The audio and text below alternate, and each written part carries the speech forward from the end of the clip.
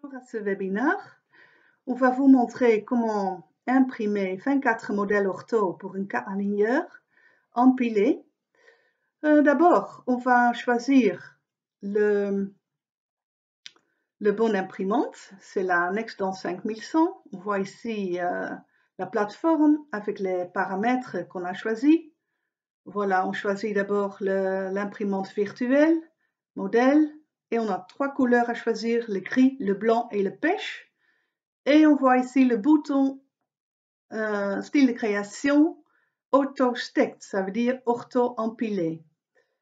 Ça, c'est le logiciel qui est optimisé pour euh, placement, rangement automatique sur la plateforme et pour mettre les supports et pour un bon placement et pour rendre les modèles automatiquement creux on importe les fichiers techniques, 24 fichiers différents, et le logiciel calcule, voilà.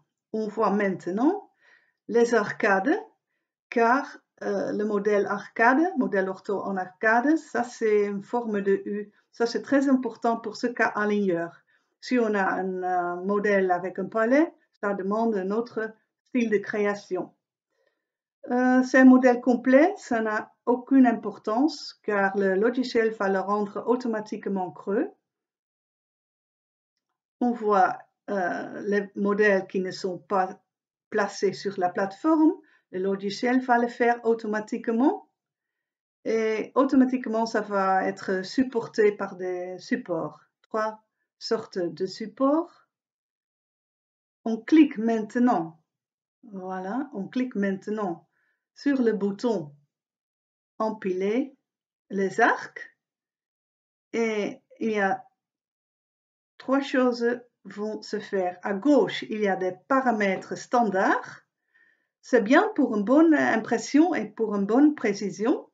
Mais si on veut euh, manipuler, on le peut. Mais pour ce cas, ça suffit de cliquer sur Appliquer et maintenant, le logiciel va calculer comment faire pour placer automatiquement les 24 modèles sur la plateforme pour rendre les modèles creux et pour euh, supporter. On va le supporter avec trois différents supports. On va connecter les, les modèles l'un l'autre avec des grosses structures entaillées, entaillées pour euh, facilement les déconnecter et on a une structure à l'intérieur du palais et à l'intérieur du modèle en tenir compte d'une paroi de 2 mm. Voilà, ça prend un peu de temps car ça va être calculé pour 24 modèles.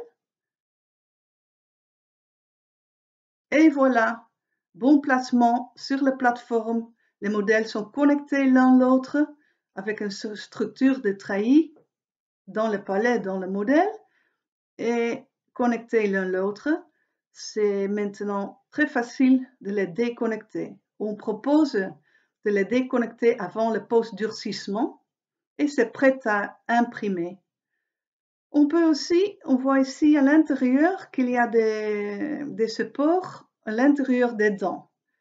Ces supports sont mis à 3 mm de radius on peut aussi dire, OK, je veux choisir un cas entre 1 et 6 mm, c'est le max.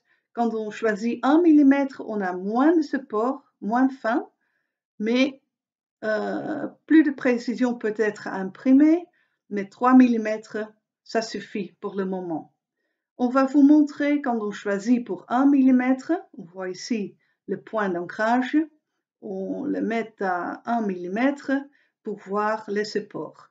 Ces supports euh, sont mis euh, pour les dents intérieures. Quand il y a des dents un peu inclinées, c'est supporté automatiquement. Quand pour les autres dents, on ne voit pas de support. Donc, euh, le logiciel va calculer maintenant pour 24 modèles à nouveau les supports. Ça prend un peu de temps, car il va le recalculer pour 24 modèles. Si on a euh, un nouvel ordinateur, ça va un peu plus vite qu'un ancien ordinateur, ça dépend, mais les, supports sont calculés pour ces 24 modèles, donc ça prend un peu de temps. Et voilà, le logiciel a calculé maintenant un, un radius de 1 mm et on peut voir, c'est des supports très fins, mais très proches l'un l'autre. C'est six supports connectés. Et avec des, touches très fines, on peut les enlever très facilement. Et on le propose de le faire avant le post-durcissement pour éviter les restes éventuellement.